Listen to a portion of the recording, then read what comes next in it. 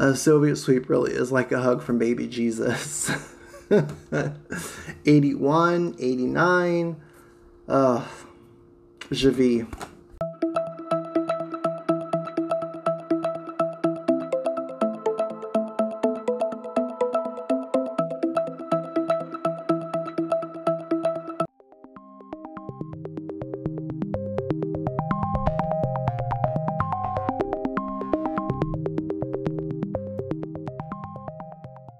Privyet Tavarashi i Dobro na mój kanal. So let's talk a little bit about YouTube and gymnastics on YouTube. There are so many amazing channels that upload routines that I use for my videos some of my favorites are obviously Boban 1611, 211 UKR Jump, and gymnastic stuff. For this profile, I am using a video that gymnastic stuff uploaded a few months ago. In fact, the whole reason I'm able to finally make this video is because they uploaded a video in high enough quality that I thought it gives justice to this gymnast. Sadly, something I've noticed is that videos sometimes have a bad habit of mysteriously disappearing. One day I was just searching and there was this amazing color. It was either Czech or Slovak TV coverage from the alternate games in Olomouc. High, high quality. I used a little bit of it for my video about Mostepanova and sadly you just assume it's always going to be there. I went back a few months later to find it again and it had vanished.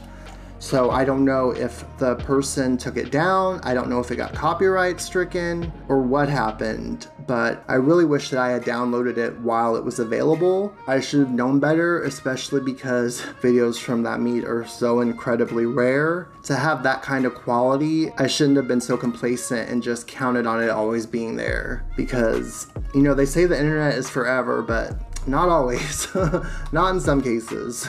so as I said, the subject for today's video is somebody I am very excited to talk about. She was number three on my list of top 10 favorite Soviets that I did a few months back. Today we are talking about the pride of the Kazakh Soviet Socialist Republic, Natalia Ilienko. Hold for applause. Actually, can we get a standing ovation? Natalia Ilienko was an incredibly gorgeous, stylish gymnast, and you will be able to see all of that in the routine that we're going to watch. This is from 81 Europeans, Balance Beam Event Finals. Natalia would win the silver medal behind Gnauck. Ilienko has a gorgeous style on this event that I love. Right off the top, I love this combination. Split leap into a gainer back tuck incredible difficulty. Beautiful turn. Just gorgeous neck, gorgeous shoulder line, setting up for back handspring, layout step out, beautiful extension, gorgeous toe point, beautiful height on that jump. You'll notice she does some a lot of toe tapping in this routine. That's a cool flourish that just all these little poses, little steps. She has an interesting rhythm. Again, that toe tapping is just so cool. Beautiful full turn. Look at her arms, Ugh. her wrists, how she flicks them It's just so exquisite. That kick right into a front aerial, wonderful. Ugh. And then this dismount sequence, which is very unique for the time, it was three series. So back walk over, then two back handsprings into a tuck double back, good lift, just a step forward.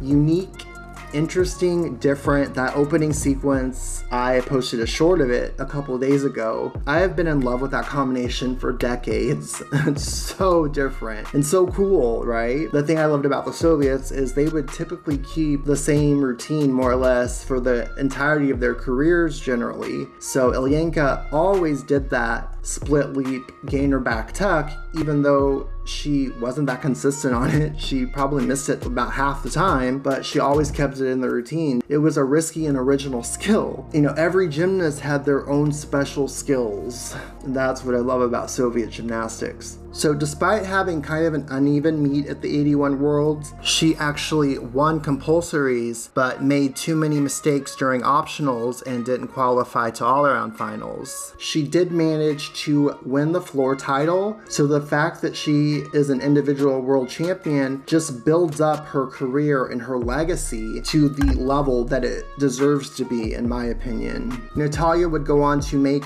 the Soviet teams in 1983 and 84, but sadly, her inconsistency led to her never making another event final. So that world title is her only world medal. You know, kind of shades of Natalia Yurchenko right? Her one world medal is a gold, except hers was in the all around at 83 Worlds. So I spoke about Natasha Ilienko at length during my deep dive of the 83 Soviet optionals, and I, you know, kind of rhapsodized ad nauseum about what a wonderful, beautiful gymnast she is. I think she improved so much on bars throughout her career. She worked hard to upgrade her tumbling over the years, and while struggled with the harder skills, her dance remained spectacular.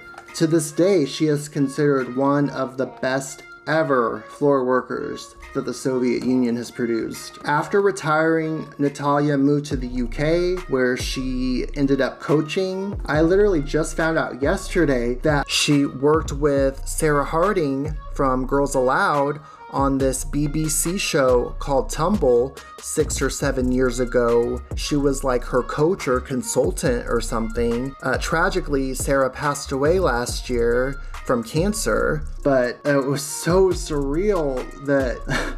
one of my favorite gymnasts was working with somebody from one of my favorite girl groups like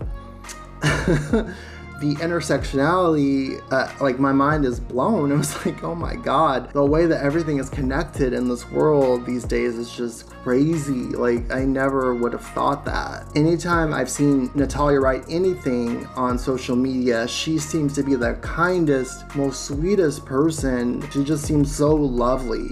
Like, je l'adore sérieusement. Thank you so much for watching this video. I really appreciate it. I'm so happy I finally got to talk about Natasha in an individual video. Please hit that like button if you like this video. Please subscribe and check out my shorts. I'm trying to post every other day. Comment for engagement, and I will see all of you lovely folks in my next one. Take care. Bonne journée. Bye, loves.